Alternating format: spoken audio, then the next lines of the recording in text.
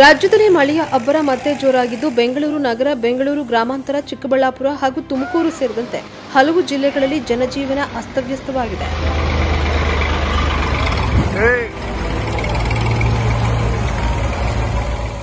ಚಿಕ್ಕಬಳ್ಳಾಪುರ ಜಿಲ್ಲೆಯ ಶಿಡ್ಲಘಟ್ಟದಲ್ಲಿ ಎಡಬಿಡದೆ ಸುರಿದ ಮಳೆಯಿಂದ ಅರವತ್ತೊಂಬತ್ತಕ್ಕೂ ಹೆಚ್ಚು ಎಕರೆ ವಿಸ್ತೀರ್ಣದ ತೋಟಗಳಿಗೆ ನೀರು ನುಗ್ಗಿ ಅವಾಂತರ ಸೃಷ್ಟಿಯಾಯಿತು. ದ್ರಾಕ್ಷಿ ಬೆಳೆ ಫುಲ್ ನೀರಿದೆ. ಕಮ್ಮಿ ಗಿಡ ಫುಲ್ ನೀರಿದೆ ಎಲ್ಲ ಈ ಕಡೆ ಇದೆ. ಇರೋ ಏರಿಯಾ ಎಲ್ಲ ಫುಲ್ ನೀರಾಗಿಬಿಟ್ಟಿದೆ ಸರ್ ಏನೇನು ಬೆಳೆಗಳಿಟ್ಟಿದೆ ಅದು ದ್ರಾಕ್ಷಿ ಕಮಲ ಗಿಡ ಟೊಮಾಟೊ ಬೀನ್ಸು. ಎಲ್ಲ ಏನು ಕಾಣಿಯಲ್ಲಿ ಹೋಗಕ್ಕೆ ಆಗ್ತಾ ಇಲ್ಲ ಸರ್ ಅಷ್ಟೊಂದು ಹೆವಿ ನೀರು. ಬೆಳ್ಳೂಟಿ ಭಕ್ತರಹಳ್ಳಿ ಚೌಡಸಂದ್ರ ಅಪ್ಪೇಗೌಡನಹಳ್ಳಿ ಗ್ರಾಮಗಳಲ್ಲಿ ದ್ರಾಕ್ಷಿ ಹಿಪ್ಪುನೇರಳೆ ಸೊಪ್ಪು ಹೂ ಬೆಳೆಗಳ ಹೊಲಕ್ಕೆ ನೀರು ನುಗ್ಗಿದ್ದು ರೈತರು ಕಂಗಾಲಾಗಿದ್ದಾರೆ. ಇಪ್ಪತ್ತೈದು ಎಕರೆಯಷ್ಟು ಹಿಪ್ಪುನೇರಳೆ ತೋಟ ಮುಳುಗಡೆಯಾಗಿದೆ. ಒಂಬತ್ತಕ್ಕೂ ಹೆಚ್ಚು ಮನೆಗಳಿಗೆ ಹಾನಿಯಾಗಿದೆ. ರಾತ್ರಿ ಬಿದ್ದಂತಹ ಭಾರಿ ಮಳೆಗೆ ನಮ್ಮ ಒಂದು ಬೆಳ್ಳೂಟಿ ಗ್ರಾಮ, ಭಕ್ತರಳ್ಳಿ ಗ್ರಾಮ ಮತ್ತು ಚೌಡಸಂದ್ರ ಗ್ರಾಮದಲ್ಲಿ ಈ ಹೆಚ್ಚು ಮಳೆ ಬಿದ್ದಿದ್ದರಿಂದ ನಮ್ಮ ಇಪ್ಪನಹಳ್ಳಿ ತೋಟಗಳೆಲ್ಲನೂ ಮುಳುಗಡೆ ಆಗಿದ್ದಾವೆ. ಈಗಾಗಲೇ ನಾವು ಬೆಳಗ್ಗೆನಿಂದನೂ ನಾವು ಸರ್ವೆಯನ್ನು ನಾವು ಕೈಗೊಂಡಿದ್ದೀವಿ ಈ ಒಂದು ಭಾಗಗಳಲ್ಲಿ. ಆಮೇಲೆ ಪ್ರತಿಯೊಂದು ತೋಟಗಳಲ್ಲೂ ಹೋಗಿ ನಾವು ಸಮೀಕ್ಷೆ ಮಾಡಿ, ನಾವು ಈ ಒಂದು ಬೆಳೆ ಏನು ಲಾಸ್ ಆಗಿದೆ, ಬೆಳೆ ಇದನ್ನು ಹಾನಿಯಾಗಿರೋದನ್ನು ನಾವು ನಮ್ಮ ಜಿಲ್ಲಾಡಳಿತಕ್ಕೆ ಮತ್ತು ಕಂದಾಯ ಇಲಾಖೆಯವರಿಗೆ ನಾವು ಈಗಾಗಲೇ ನಾವು ವರದಿಯನ್ನು ಕೊಟ್ಟಿದ್ದೀವಿ.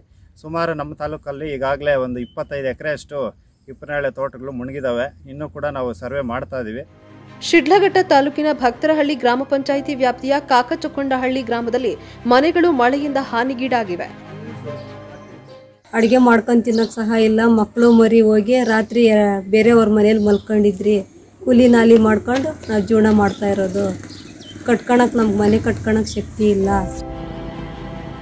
ಇನ್ನು ಬೆಂಗಳೂರು ಗ್ರಾಮಾಂತರ ಜಿಲ್ಲೆಯಲ್ಲಿನ ವಿಜಯಪುರದ ಅಮಾನಿ ಕೆರೆ ಮೂವತ್ತೊಂದು ವರ್ಷಗಳ ನಂತರ ತುಂಬಿ ಕೋಡಿ ಹರಿಯಿತು. ಕೆರೆ ಬದಿಯಲ್ಲಿ ಮನೆಗಳನ್ನು ನಿರ್ಮಿಸಿಕೊಂಡು ವಾಸಿಸುತ್ತಿದ್ದವರು ಸಂಕಷ್ಟಕ್ಕೀಡಾದರು.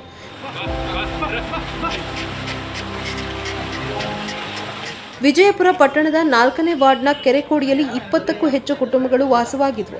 ಇನ್ನೊಂದೆಡೆ ಕೋಡಿ ಬಿದ್ದ ಕೆರೆಯನ್ನು ನೋಡೋದಕ್ಕೆ ನೂರಾರು ಜನ ಜಮಾಯಿಸಿದ್ದರಿಂದ ಸಂಚಾರ ದಟ್ಟಣೆಯೂ ಉಂಟಾಯಿತು.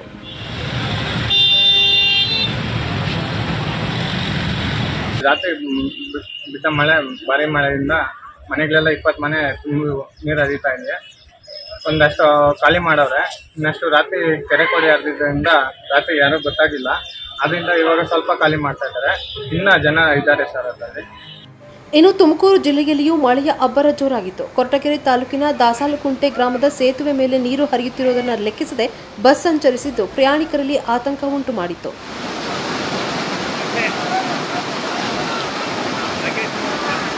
ಕೊನೆಗೆ ಬಸ್ ಮತ್ತು ಪ್ರಯಾಣಿಕರನ್ನ ಜೆಸಿಬಿ ಸಹಾಯದಿಂದ ಸ್ಥಳೀಯರು ಹೊರತೆಗೆದರು.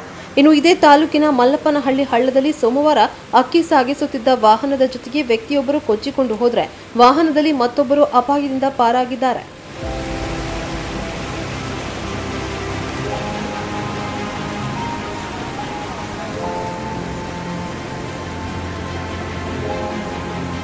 ಇದು ಅತಿಯಾದ ಮಳೆಯೇನಲ್ಲ, ಸ್ವಾಭಾವಿಕ ಮಳೆಯೇ ಸುರಿಯುತ್ತಿದೆ. ಆದರೆ ಅಸಮರ್ಪಕ ಮೂಲ ಸೌಕರ್ಯದ ಪರಿಣಾಮ ಸಮಸ್ಯೆ ಸೃಷ್ಟಿಯಾಗಿದೆ.